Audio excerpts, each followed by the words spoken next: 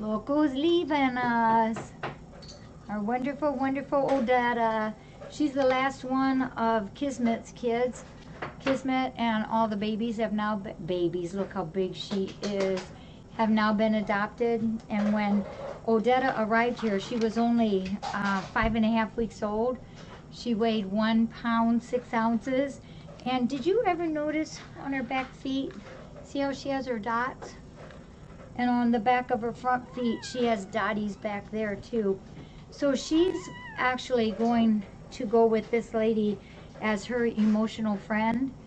And so the bonding there is going to happen here in the next couple days. She's got her baby food, she's got toys, she's got time to spend, and she's going to be a real sweetheart.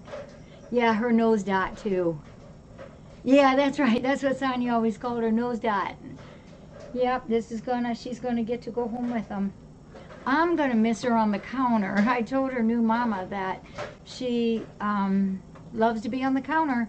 Remember Kismet taught, well, Kismet was a, a magnet to the counter. She, she helps me. And then she uh, taught all of her kids to be on the counter. And if you weren't Huh, okay, I did it today. I got tuna, I got extra.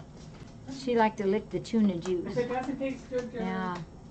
So she's gonna go home as um, like an emotional friend for this lady. They've been here three times and this is the time they now get to take Odetta here, Odetta home. But she was only one pound, six ounce when she came. She's one of them that um, Connie D, our volunteer, had found underneath the house. And Connie sat there for a while till she was able to get them all out from under there. Oh, me too. I'm very happy for her. Yeah. She's got her blinky and her ba- and her um, bag and all the goodies that's in it. All right, the last of the Kismet clan. Burn it. Okay, burn. Whoops, Vern. Be nice. He loves her. Yeah. Did it take him a second to to- realize? I have to turn the taste. Yeah,